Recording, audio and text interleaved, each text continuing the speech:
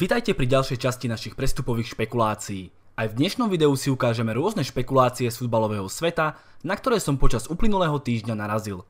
Opäť v žiadnom prípade netvrdím, že sa tieto špekulácie aj stanú. Väčšinou ide rôzne výplody novinárov, ktorí sa pretekajú, kto napíše väčšiu senzáciu.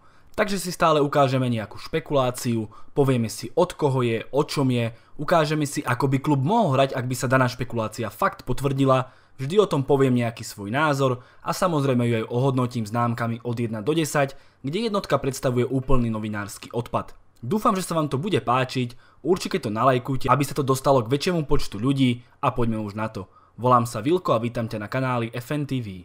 Prvá špekulácia sa týka Arsenalu a nie je ani nejak konkrétna. Píše sa v nej. Emery bude predávať. Samozrejme, že bude predávať. Sezóna Arsenalu nebola vôbec podarená, do Ligy majstrov sa nedostali a rovnako tak nezískali ani trofej. Na druhú stranu Emery sa podľa mňa ukázal dosť pozitívne, bola to jeho prvá sezóna a navyše on sám vie, že hráči, ktorými disponuje, určite nemajú na Arsenal. Špekulácia vlastne vychádza zo slov Emeryho, ktorý potvrdil odchody viacerých futbalistov priamo po finále Európskej ligy. Koho by sa tieto odchody mohli týkať? Vieme o Welbeckovi, Remzimu, Lichtsteinerovi a ďalej? Na to dám trošku osobný pohľad. Určite Mustafi, osobne by som sa nebal odchodu Koščelného, Elnenyho a Ezila. Minimálne. No a keď sa pozrieme na potvrdené odchody, potrebujeme minimálne 5 až 6 futbalistov, ak teda nedostanú šancu mladíci ako Smith Rowe alebo Nelson. Každopádne, ak sa bavíme o príchodoch, tak určite. Dvaja stopéry. Bez nich to absolútne nepôjde. Jedno ľavé krídlo a minimálne jeden stredný záložník. Ja by som šiel asi aj po dvoch, aby som mal štvoricu, Torreira Genduzi a dve posily. Pretože Genduzi je ešte mladý, hrá sa Európska liga, treba to trošku rozšíriť. Zbavenie Ezila by nás odľahčilo. Veľký plat a mohli by sme na jeho post nasadiť fakt lepšieho hráča, pretože to, čo predvádza Ezil, nepatrí do moderného futbalu. To, že niekedy urobí niečo geniálne, neznamená, že je to top top futbalista. Treba trošku pridať. Veď sa len pozrite na Eriksena. Takže asi toľko k tejto špekulácii o odchodoch a možno si tu kecám a odídu úplne iní hráči. Aj to je možné. Neymar späť do Barcelony. S týmto prišla španielská Marsa. Tá tvrdí, že Barcelona je pripravená vymeniť jedného z dvojice Dembele Coutinho do PSG práve za Neymara. No a teraz. Všetci vieme, že Dembeleho trápia zranenia a Coutinho hraje na krídle katastrofálne. Z tohto pohľadu OK. Dávalo by to zmysel. Minimálne pre Barcelonu, ktorá zatiaľ proste odchod Neymara nezaplátala, aj keď ja stále verím Dembelemu, pretože ten keď sa rozohrá a nezraní, bude nezastaviteľný. Ale dalo by sa chápať, že mu možno neveria, alebo chcú istotu. No ale akú istotu im dá Neymar? Pozrite sa na posledného Neymara. Kvalitatívne výnimočný, ale tie zranenia sa začali hromadiť aj jemu a už by ani jeho príchod nebola stávka na istotu.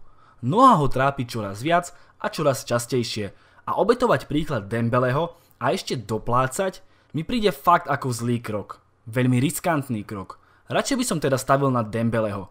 Ak by však menili Kutíňa, ktorého by teda určite nechceli využívať ako stredného záložníka a stále by ho tlačili na krídlo, OK, to by možno zmysel dávalo. Zbavili by sa priemerného futbalistu na krídle a získali Neymara. Ok, beriem. Ale súhlasilo by s tým PSG? Neverím tomu. Neymar je spolu s Bapem akousi tvárou PSG. Ich najväčšiu marketingovú hviezdu by určite nepustili za Kutíňa. A za Dembeleho? Neverím tomu, ale asi by to bolo reálnejšie. Tento scenár, či už jeden alebo druhý, hodnotím veľmi nepravdepodobne. Jedna z desiatich. Rodri do Bayernu. A konečne špekulácia, ktorej osobne aj dosť a ktorá by bola pre Bayern veľmi skvelá. Rodri v tejto sezóne ukázal, že vie byť fantastickým hráčom a stred poľa atletika úplne ovládol. Už keď som robil svoj Bayern Mníchov, hovoril som, že bude musieť riešiť aj pozíciu defenzívneho záložníka, no na Bayern som už nechcel investovať viac, tak som povedal, že ešte jednu sezónu by som počkal. Ak by však Bayern mal prachy na krídlo a ešte aj defenzívneho záložníka štýlu Rodriho, vyriešili by tým svoje problémy. Rodri by sa postavil do stredu poľa k Tiagovi, pred nimi by mohol hrať Gorecka, na krídlach Posila a Gnabry, v útoku leva a ten tým je riadne našľapaný. A k tomu ja stále snívam, že sa k Bavorom pripojí aj supertalentovaný Havertz. Osobná predstava by mohla vyzerať takto. Neuer, Kimmich, Zule, Hernández, Alaba, Rodri Tiago, Sané, Havertz, Gnabry, leva. A toto už je dosť tlak tým. Pre Bayern by teda bol Rodri fantastickou posilou, no ostáva otázne, či by ho Atletico bolo ochotné pustiť. Vieme, že prievan u atlétov už teraz je dosť veľký a či by šli ešte aj do toho, no ťažko povedať. Pre Bavorov by to ale bolo skvelé, pre Atletico až tak nie. Samotnej špekulácii, respektíve minimálne o záujme Bayernu verím, preto dám 5 z 10. Proste verím, že sa Bayern zaujíma, ale neverím, že Atletico bude chcieť predávať.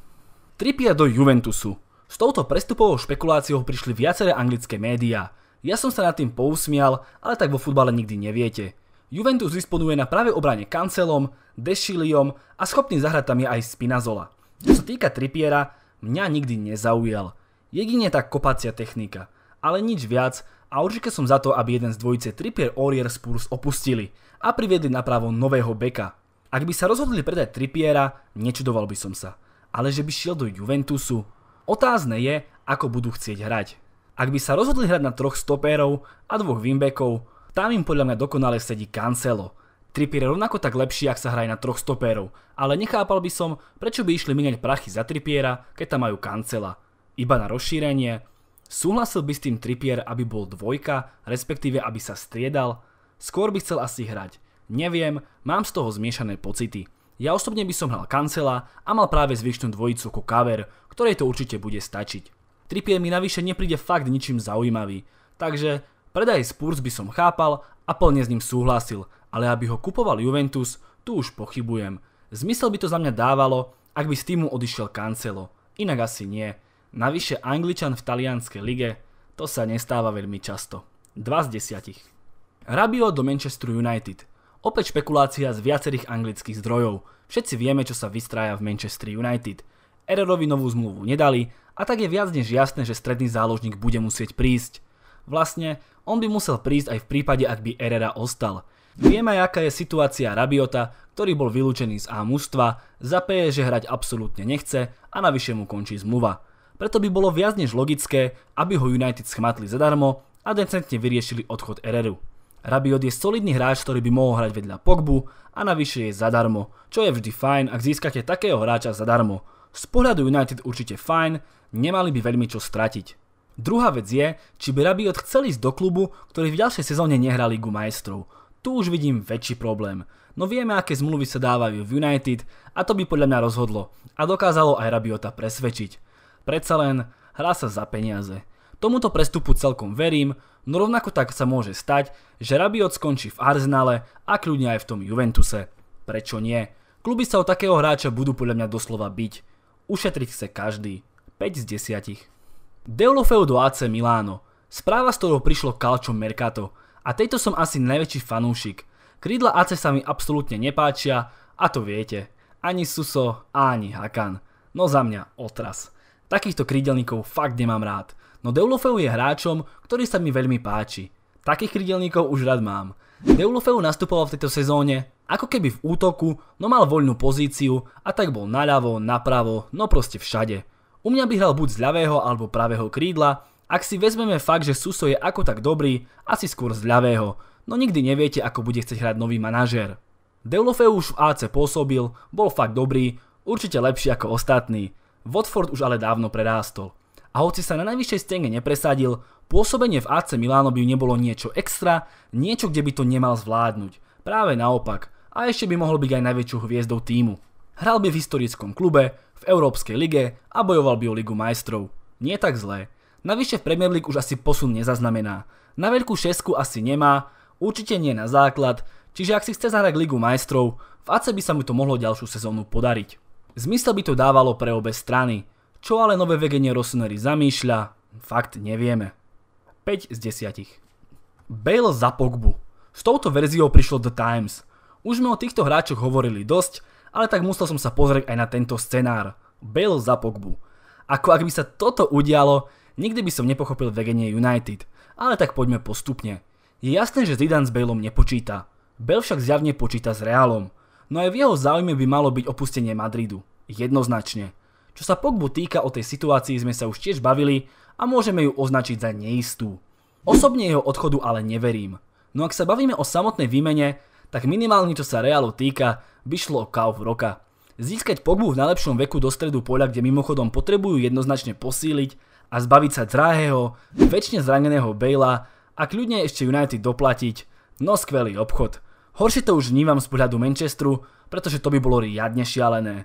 No ale ako vravím, neverím tomu a dúfam, že sa to ani nestane. Jedna z desiatich. Akej prestupovej špekulácie ste najväčším fanúšikom vy? Napíšte do komentu.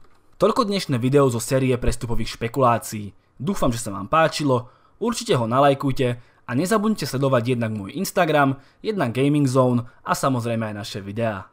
Nazdar.